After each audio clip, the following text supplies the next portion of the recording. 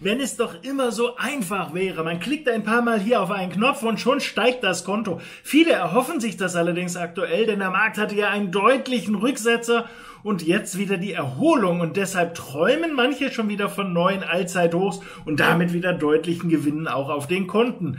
Aber ist das realistisch? Wir wollen uns das Ganze mal angucken, wie jeden Mittwochabend, so auch diese Woche um 18.30 Uhr in der BNP Paribas Born Akademie. Am Live-Chart wollen wir uns die Situation mal angucken und das auch vor der EZB-Zinsentscheidung, die vielleicht mit der anschließenden Pressekonferenz nochmal ein bisschen Zündstoff für die Märkte bringen könnte. Ich denke, es lohnt sich auf jeden Fall mit dabei zu sein, deshalb schaltet unbedingt mit ein www.bornakademie.de. Ich freue mich auf euch.